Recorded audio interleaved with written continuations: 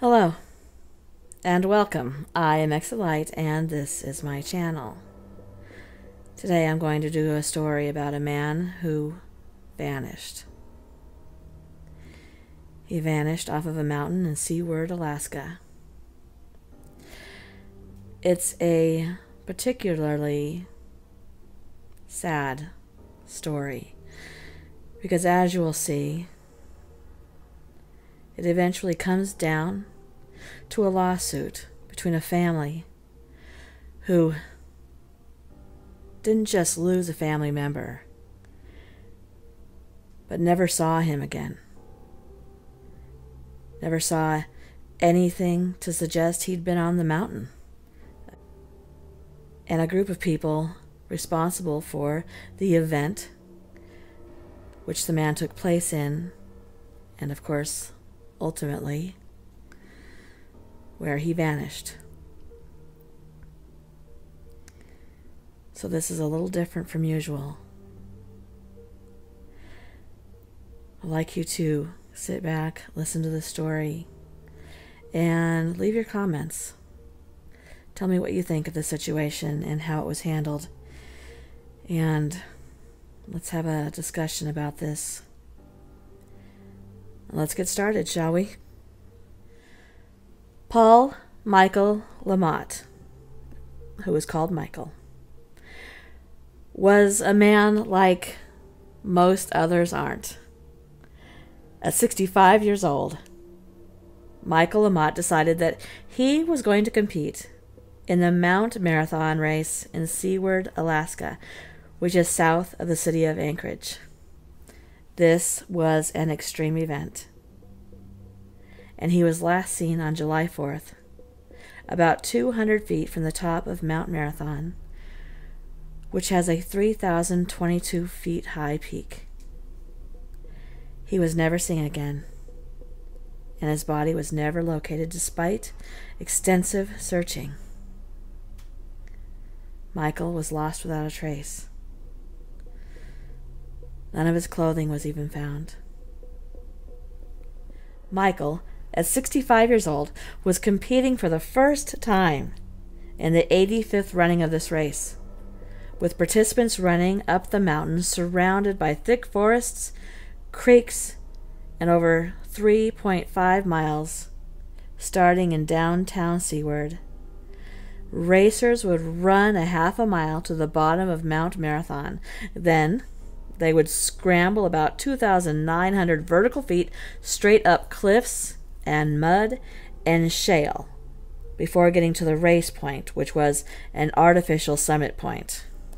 Then the racers turn around and go downhill over snowfields and rock fields, waterfalls and crags until they finally reach the finish line back on the streets of Seward.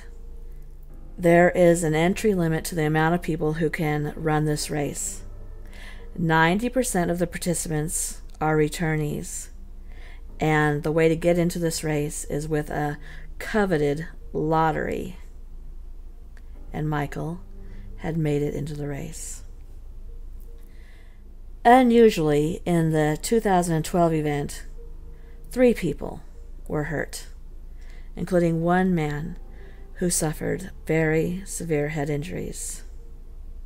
This was the first time in the history of the race that anyone had ever been injured or died or gone missing. In a pre race safety talk, Tim Lebling told the racers if you have not been up to that mountain before, you should consider going home right now because you should not be in this race. But Michael was undeterred. He was fit and healthy and having been a regular visitor to the gym and just finished a 12K event a month earlier, he felt as though he could make it. So, despite the warning, he never once chose to not continue. In hindsight, that was a decision that his family has to live with. Michael started in the second wave of the race, which started at 3:15 p.m. At about 5:45 p.m., Tom Walsh saw Michael ascending to the turnaround point with about 200 feet to go. At this point, the area was starting to become foggy and cold, but Walsh saw no reason to be concerned about the condition of Michael. Walsh asked LeMaitre for his bib number, and he replied 548. And as he descended back towards the town, he texted race officials. Bib number 548 would be home in about an hour and a half. Unfortunately, Michael never made it back. Hours later, search and rescue teams were called onto the mountain at around 8 o'clock by his wife, Peggy, and the temperatures were falling, and it began to rain. And it wasn't until early the next morning that the Alaska State Troopers helicopter, which was equipped with infrared radar, was scanning the mountain. Searchers were worried that if he wasn't already injured, he probably had hypothermia because of his light clothing, exhaustion, and freezing weather. Again, make note that it wasn't until quite early in the morning the next day that they sent a helicopter with infrared to search for heat after this man had been up in the freezing cold all night. Then, the next morning after that, the rescue squadron of the Alaska Air National Guard which specializes in searching for crash pilots and missing hikers, arrived with their helicopter for another infrared scan. A team of up to 60 searchers crawled around that mountain. They looked everywhere. They even looked on the other side of the mountain, away from the race course. Four days after LeMaitre disappeared, the official rescue attempt was called off. Michael's daughter had flown in, and with the Seward Volunteer Fire Department, they kept looking. She didn't want to leave her dad there. His wife didn't want to leave her husband there. A cadaver dog was called in and sent into the area, and friends paid for and analyzed high resolution photographs of the mountain. Now keep in mind, this is an organized event. It's been going on 80 plus times. There was nothing in place to search for a missing runner. It was taking an extremely long time to get infrared in there. And then the family and their friends had to pay to have and to analyze high resolution photographs of the mountain. In the end, mountain rescue experts, firemen, state troopers, search dogs, and Michael's family spent thousands of hours searching the area and did not find a single clue that he'd even been on the mountain if it wasn't for the fact that he had been witnessed on the mountain, nobody would know he had been there. And that is strange. So, even after the official search was called off in mid July, volunteers continued to search the mountain. Michael's daughter, Marianne, was quoted as saying, Seward has so much meaning to my dad. He is here, looking out. He's on Mount Marathon somewhere. And something I'm going to touch on real quickly, we'll come back around to that, is that in July 2013, Michael's widow sued the Seward Chamber of Commerce, which organizes the race, for $5 million, and eventually settled in October 2014 for $20,000. Afterwards, race organizers instituted a number of new safety measures in 2013, including mandatory signed statements from runners that they've completed training runs on the course, a one hour time limit for racers to reach the summit, and sweeps of the mountains by volunteers after each wave of the race. Everyone involved in this race asks the same question How does someone disappear during a three mile race and be lost forever with no trace? He was never seen near the ascent, and with only one and a half miles to go downhill, he was never seen. Five years after Michael disappeared, not one piece of physical evidence has ever surfaced. He quite literally vanished into thin air. After the settlement had been announced, the chamber issued a press release claiming victory. Hours later, Michael's widow Peggy she released a press release too. And she said, This suit was never about the money. Michael's son in law, Curtis, said that the entire family had collectively made a decision to settle the case after a Superior Court hearing, at which time it became clear that it would be very hard to win a case. Peggy alluded to this in a statement which read, We have settled our case because we have no body. As we found as the case proceeded, it is difficult to go to trial without a body to prove that the Chamber of Commerce was responsible for his death. The judge ruled against the estate for emotional distress because of state law on this. And Peggy said in her response that without a body, the emotional distress never goes away. What a catch 22. You can't win a lawsuit without a body. You can't claim that you're going through emotional distress. Yet, on the other hand, she'll never live a life without emotional distress because she has no body to bury. At one point, the Chamber of Commerce officials were apparently suspicious that the whole disappearance had actually been staged.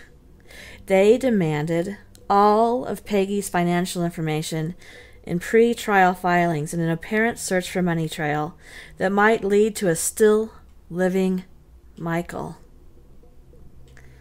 None was ever found. But in the settlement, the Chamber's press release highlighted the fact that no body was found and that Peggy moved to have Michael declared dead shortly after the search ended. They said he was presumed dead through a court action initiated by his wife Peggy on July 17, 2012, two weeks after he disappeared. The Chamber press release also suggested evidence had surfaced revealing that Michael's sight was so poor that he should not have been in the race. Peggy denied that Michael had any eyesight issues that would have limited him for the race.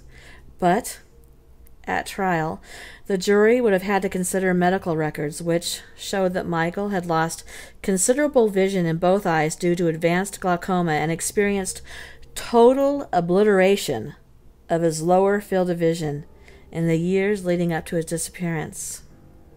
In fact, Michael's limitation was so significant that in 2009 he filed a complaint with the Equal Employment Opportunity Commission against his employer claiming he was being discriminated against due to his disability. At a subsequent deposition, the statement said that Michael told the investigators that what I see as far as peripheral vision is everybody from the top of their head to the tip of their nose. It was over a month before I realized that my supervisor had a goatee. Now, that seems bad, right? What the chamber press release failed to mention was that the EEOC records dated to a time when Michael was recovering from eye surgery. The surgery was successful and his vision improved. In a statement, Peggy said, About Mike's vision. Mike had a valid driver's license, and on his last visit with his eye doctor, he had 20 30 vision without glasses. Mike had lost peripheral vision, but all he had to do was move his head and look down. Mike was recovering from glaucoma surgery during the time of the EEOC case. The Chamber of Commerce said that the settlement freed it from any responsibility for Michael's disappearance. They said that everyone agrees that although Michael LeMaitre's disappearance is indeed a tragedy, the Chamber, as Mount Marathon race organizers, is not at fault. We owe our gratitude, and then they thanked their lawyers. Then the press release went on to blame Michael for what happened to him. It read Race volunteers spoke with Mr. LeMaitre as he was approaching the turnaround point and let him know that the race was over. The statement said numerous witnesses, including one medical doctor, would have testified at trial that Mr. LeMaitre requested no assistance, appeared to be in no distress, and wished to continue to the top of the mountain. Which is interesting that they released that in their press release, considering they were ready to go to trial and say that the man was blind, in which case I would assume he would be having difficulties when the doctor saw him. But that's just my opinion. Also, Michael, the chamber statement said, had earlier been warned of Mount Marathon's dangers. All 2012 racers were told if you haven't been up on the mountain, you have no business participating in this event, the release noted. Michael had not been up on the mountain despite the warning, which stopped short of blocking those who hadn't gone before.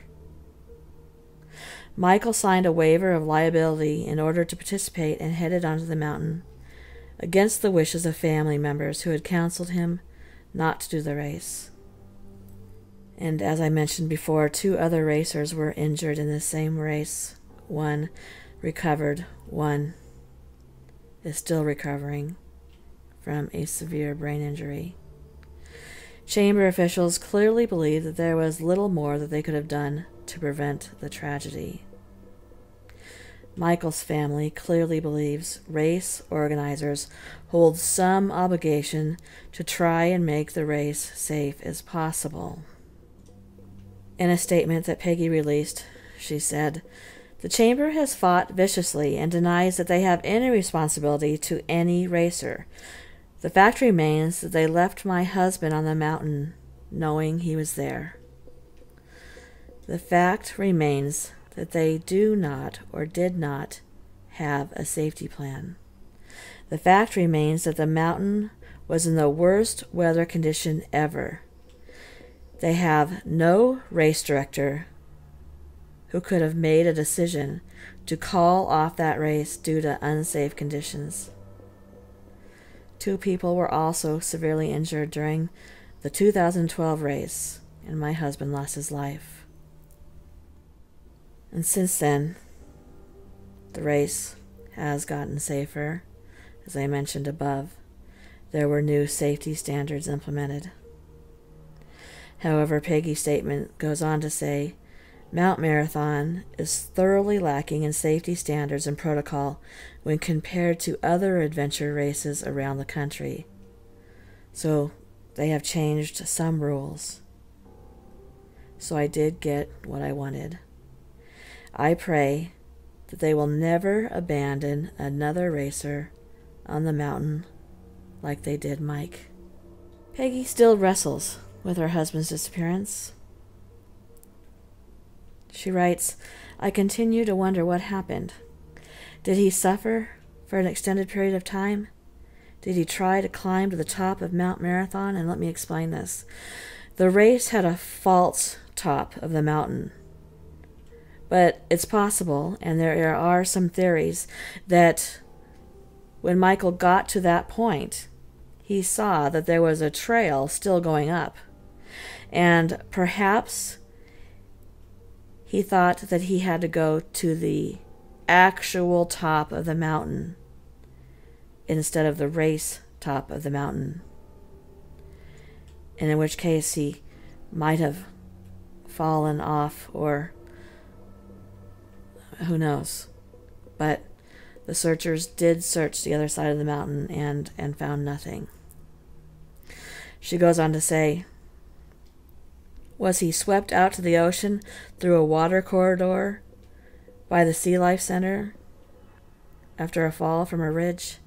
Did he slide under the ice and freeze to death? Did he fall into a crevice? Did he suffer from hypothermia? Was he thinking of his family in his last minutes? We did not get to say goodbye. The response from the Chamber of Commerce was this The decision to resolve this matter was a business decision made by the Chamber's insurance company and is in no way an admission of liability. The evidence supports the conclusion that the Chamber was not negligent and did not cause or contribute to Mr. LeMaitre's disappearance or presumed death in any way. So, how did a healthy 65 year old man disappear from a mountain? And all these years later, there's never been one piece of evidence, not one, not clothing, not his bib, nothing. Thousands of hours, thousands of hours searching. Cadaver dogs, helicopters. Nothing was found. And if they had used the infrared sooner, could they have found a warm body? Or by the time they used it, was he already too cold? Or did something else happen?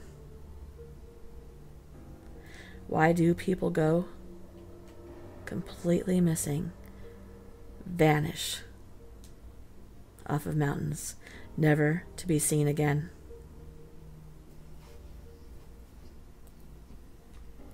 Thank you for coming to my channel. If you would, please take a moment to subscribe if you're not already subscribed. Also, please click that thumbs up. And if you'd like to be notified of new content when it goes up or when we have our live podcasts, please click that bell. And if you'd like to support this channel, please consider becoming a member of Patreon. Thank you.